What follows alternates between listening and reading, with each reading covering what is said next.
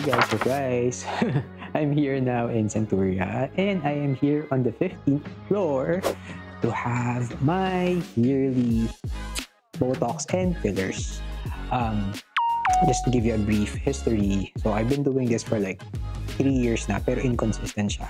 So I first had it 2021 and then 2022 and then I finally I skipped last year and then ngayon lang ulit siya. So again, nasabi ko naman kanina why I want to do this kasi nga again, I'm turning 40 so syempre gusto ko sana bongga ako uh, when I turn 40. So ayun. So I'm gonna introduce you uh, to my doctor who's going to do the procedure uh, for today. So, ayan, pasok na tayo sa clinic ni Kai.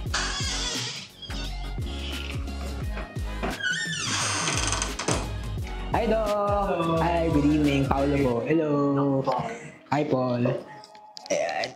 So, once again, guys, andito ako ngayon sa my Centuria sa 15th floor unit 1532. And again, I'm with Dr. Paul Verano. Um, I was referred to him by one of my friends. Um, and he's going to be my doctor uh, for today. So, he is an aesthetic doctor.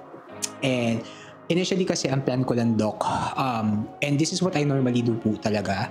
I normally just have Botox and fillers almost every year. Bakit almost every year? Kasi I've last na nagawa ko siya was 2022 oh tama 2022 I started yung 2021 Botox and filler. Um, hindi ko alam kung pwede ko sabihin yung name ng clinic. Pero yun so 2021 tapos 2022 magkaibang clinic siya. Tapos 2023 I skip. Tapos this year, uh, yan, um, I'm turning 40 so gusto ko medyo bongga sana. So, what I normally do, Doc, but yun nga, of course, I will leave it up to you kung anong masasuggest nyo. Ang, ang concern ko lang naman po talaga usually is yung wrinkles, yung crow, crow's feet, crow lang yun, no? crow's. Tapos eto, actually eto, hindi ko alam kung paano gagawin dito kasi medyo nakikita ko naging prominent na rin yung smile line. Smile lines ba tawag dito? Tama ba? Smile lines. So, yun, nagiging na siyang prominent. So, anong masasuggest niyo, Doc? Okay. So, for ganyan, uh, for the uh, fine lines and wrinkles ng face natin, uh, I would suggest uh, mag-Botox. Ah, Since yung Botox, um, pang relax siya ng muscle natin to prevent yung mga wrinkles natin, dynamic wrinkles, static wrinkles. And then, as na-observe ko sa face mo, especially dito eye, medyo nakalubog. Ay, oo, yun. Sorry, tama ka daw. Actually, ito rin pala, sorry. Ito pala yung number one concern ko kasi sa mom ko, tama, lahi ng mom ko, sa daddy ko wala. Mabab, malalim talaga yung mata namin ever Mm. since. So, isa yun sa mga concern ko rin talaga. Mm. So, yan. Uh, we have different options. to do. First is fillers or collagen biostimulator like that. So, yun, yung mga yung mga procedures na yun, mag-volumize no eye. Or Mm, okay. Normally, Doc, ang ginagawa sa akin before, fillers nga. Yun ang natatandaan ko talaga. Mm. Fillers ako dito. Ano yung, sorry, yung pangalawang sinabi? Ultra collagen. Ano yun? Uh, collagen biostimulator. Mm. It- It's also called uh, uh, uh, what do you call this? Um, powdered threads or liquid thread. Yan naman Oh, okay. Oo. so, what it does is, ini-increase niya yung collagen ng face. Collagen production ng face. Since collagen, siya yung uh, responsible for lifting ng face. Pero yung, yung effect niya, same lang siya ng effect ng fillers. Um, somehow, yes. Same in, in terms of lifting and volumizing ng under eye. Okay. Yeah. And safe, obviously. Pero gusto ko lang siguro marinig, safe naman. Ah, yes. For the fillers kasi Doc, and Botox, what I remember, kasi nga, it's been two years, af- after ng procedure, of course, hindi ka pwede mag-wash ng face, hindi ka pwede maarawan, or mag-sweat as kung kaya, definitely no workout or no heavy sweating session in the next 24 hours. Or actually, kinabukasan, yung naalala ko. Pero yung ang natatandaan ko, ang sabi sa akin, Botox and fillers would normally take full effect talaga after two, Two weeks. weeks, yes. So, ganun din siya dun sa, dun sa trend. Yes, doon sa liquid threads natin. Two weeks to one month. Kasi Okay. it takes time for our body to produce yung collagen. Ah, Feeling ko naman naabot siya do kasi yung unang lakad namin for the summer is this end of month. So, feeling, abot naman yun siguro. Yes. Okay. Tapos yung sa uh, lap lines mo din, uh, okay din yung collagen biostimulator or yung ultra since mabavolumize dito and malilift. Okay. Sige, perfect yan. Ako, I'm I'm nervous and excited. Pero more excited than nervous. Kasi, I mean, alam ko naman yung feeling ng yun nga, ng mag mag-failure. Mag-end na tayo, no, Doc? Yes, yes. So, same din siya. So, so ayun guys. Uh, teka, may tanong pa ba ako? Yun lang Yeah. naman. So, ayun, mag- mag-end na na ako. And then, um, wish me luck. Wish me luck. Kaya ko to. So, ayun lang guys. Mag-end na na muna ako. So ayan guys, nag-wash muna ako ng face para lang, of course, syempre, kasi bukas na tayo, bukas na ako pwede magbasa. So, and of course, syempre, for safety purposes, dapat malinis yung face natin. So ngayon, lalagyan na ako ni Doc ng EMLA. Um, if I'm not mistaken, ang natatandaan ko, yun nga, it's a topical anesthesia. So it would usually take around 30 minutes for it to settle in. So, yun, EMLA muna tayo bago yung actual procedure. Guys, nilagyan na ako ng EMLA. So, ito, all over the face siya. And then, yung nga, ang purpose niya is topical anesthesia siya. So, for those who are curious, hmm, wala, wala. It's just really like a cream. Actually, hindi siya malamig, pero malamig, hindi malamig itself yung cream, pero malamig yung feeling. So, yan. I-apply lang siya sa whole face. And then, mamaya, lalagyan ako ng plastic, if I remember it correctly, para lang mas kumapit yung, ah, yung anesthesia. Kapag tuloy yung sasabihin ko, anesthesia. Okay, so ayan guys, nilalagyan na ako ng plastic. Ah, it's been like 3 to 5 minutes nung nilagyan sa akin yung EMLA. Meron akong nafe-feel na onting numbing effect, pero hindi siya masakit or anything. Wala, the, the usual numbing effect lang talaga pag nilalagyan ka ng topical ah, anesthesia. So yan, nilalagyan na siya ng plastic para ma-seal in and mas kumapit nga yung anesthesia. So, time now is 7.25. So, yan, 30 minutes siya na ganyan para kumapit talaga siya before the actual procedure. So, see you in 30 minutes. Ayan guys, so nakaka 15 minutes na tayo into the EMLA. So, another 15 minutes pa. So, ramdam ko yung slight numbness. So, wait lang ako ng 15 minutes more and then let's do the procedure after. How does this look? Very flattering no guys. Char.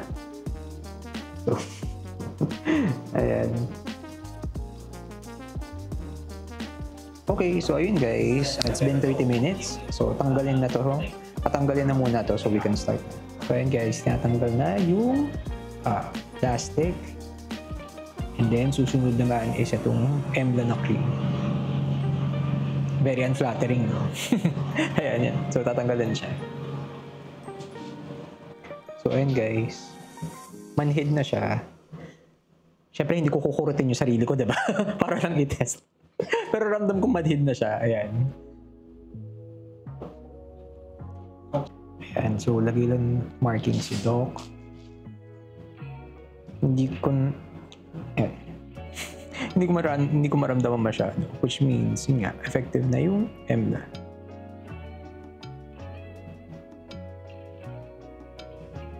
Anong unahin pala natin, Doc? na procedure?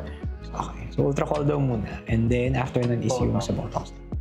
Okay. So, ayun guys. Done na yung marking si Doc. Um, for context, what I remember before lang, Doc, sa tansya mo ilang units ako this year? Oh. Yung Ala, Diyos ko. Ano ba ito?